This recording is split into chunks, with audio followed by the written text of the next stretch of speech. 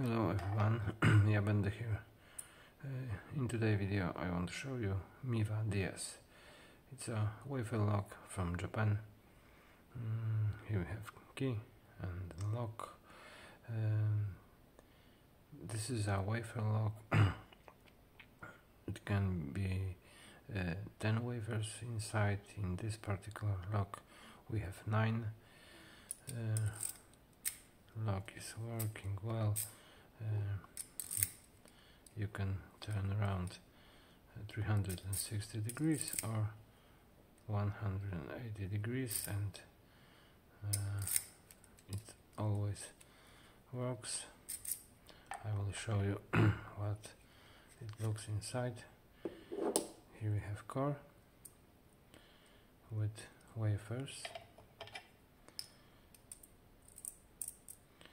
When we put the key wafers are unlocked and lock can be uh, turned open. Mm, when we remove the key wafers are back on starting position. And lock is closed.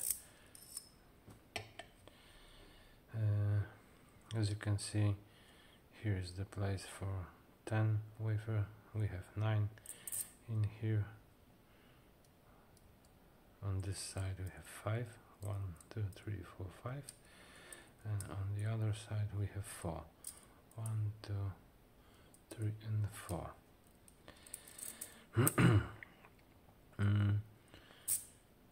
this side of the key uh, is engaging uh, opposite side of wafers um, because they are pushed by the key.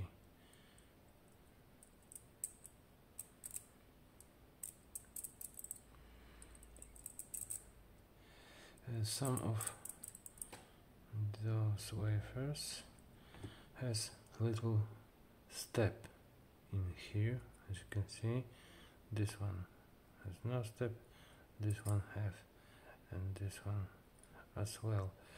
Uh, those steps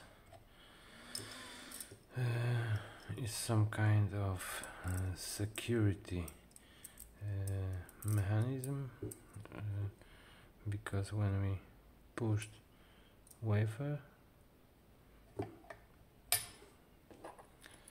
uh, it can stop in here and will be not binding anymore but after setting next one or next ones uh, this one will start binding again and uh, you may uh, need to pick uh, some of these levers twice. They act uh, something like T-pins. Okay. Stop talking let's go to pick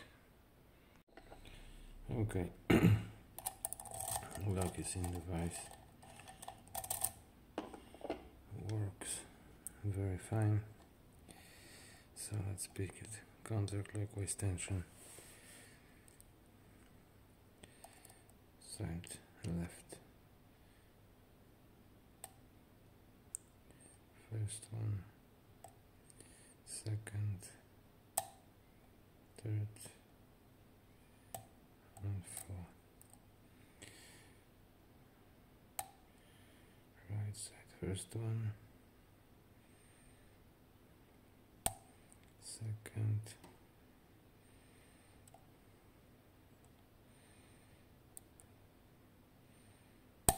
third one, and another one, and third.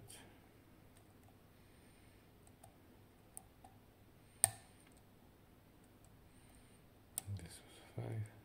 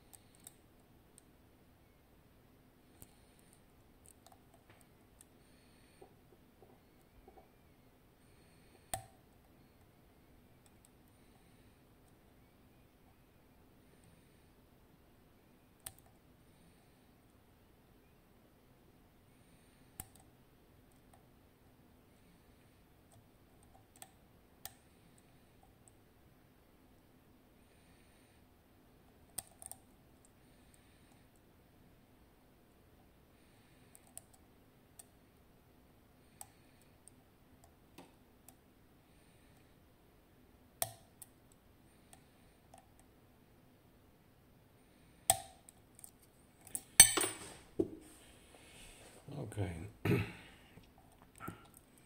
Open.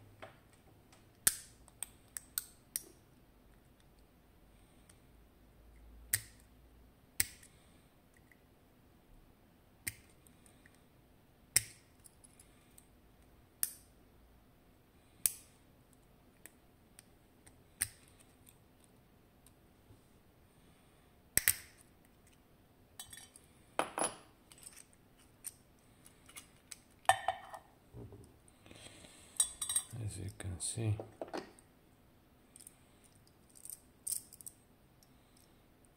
All levers are inside.